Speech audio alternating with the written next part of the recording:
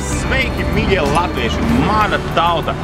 Es jūs tiešām visus mīlu. Sveiciens arī visiem latviešiem, kas nedzīvo Latvijā kas ir ārzemēs, kas strādā, kas dzīvo citās zemēs.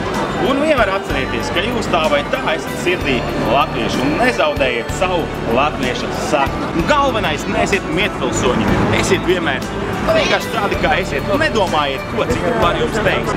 Jaunajā gadā neaizmirstiet savas mīļotās sievietes un viņas nekrāpiet.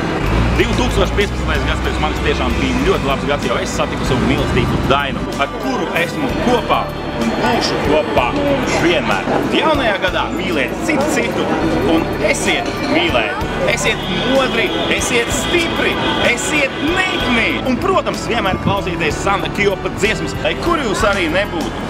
Vienmēr atcerieties, ka jūs esat latvieši. Jo latvieks ir pats labākais un stiprākais. Ai pīlāģu oga, rūki saldā. Dziļāk, dziļāk, dziļāk, dziļāk vēl, vēl, vēl, dziļāk vēl.